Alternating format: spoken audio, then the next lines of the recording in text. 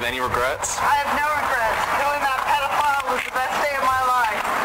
What about what you said in court about repenting? Is that not true then? No, it's not true. My lawyer made me say